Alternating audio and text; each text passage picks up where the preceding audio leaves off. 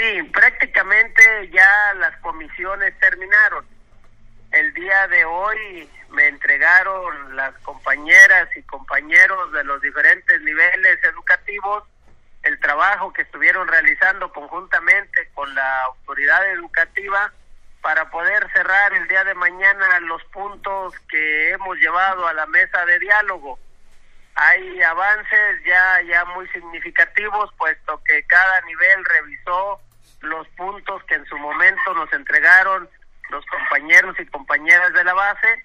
El día de mañana estaremos eh, cerrando ya con el director general todos estos puntos, ya recabamos la información, ya trabajaron en estos días las comisiones y yo espero que el día de mañana podamos cerrar todos los puntos y tomar las mejores decisiones por el bien del sistema educativo y por supuesto de todos los trabajadores aquí en la entidad. Yo creo que hay voluntad, hay disposición por parte de la autoridad.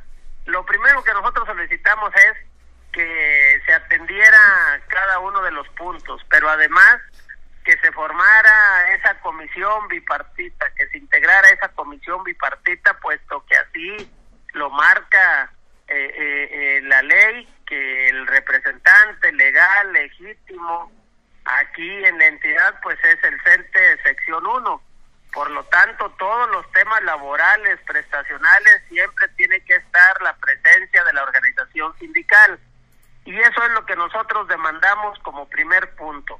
A partir de ahí se trazó la ruta para que cada nivel educativo se reuniera, se sentara, revisara, analizara y ya lo ya lo han hecho.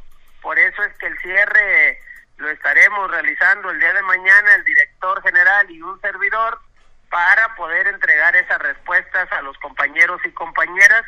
Yo creo que aquí lo más importante es que se escucharon todas las partes y eso es lo que nosotros siempre hemos demandado, que las decisiones se tomen de manera conjunta y que los planteamientos que se hagan se revisen y bueno, caminemos en el mismo sentido para beneficio de todos los compañeros y compañeras y por supuesto siempre atendiendo a los niños, niñas y jóvenes. Yo espero que podamos cerrar mañana y yo espero que todos los puntos sean atendidos y podamos dar una respuesta concreta a los planteamientos solicitados.